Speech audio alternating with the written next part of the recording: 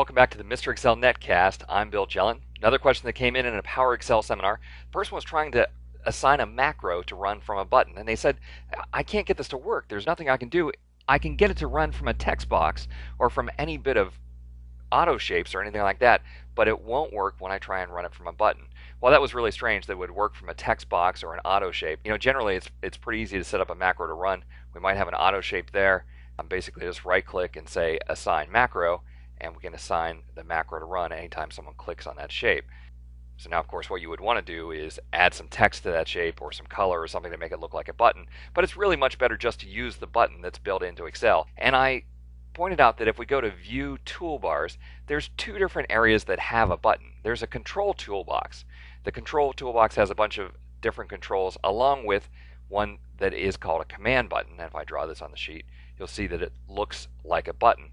But you can't just assign a macro to that command button. What we have to do is go to View, Toolbars, and say that we want to see the Forms toolbar. The Forms toolbar is much older, but actually simpler to use. There's a button there.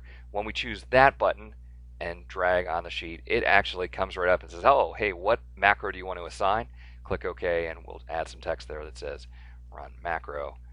So I guessed that probably what's happening is they were trying to use a command button instead of just a button.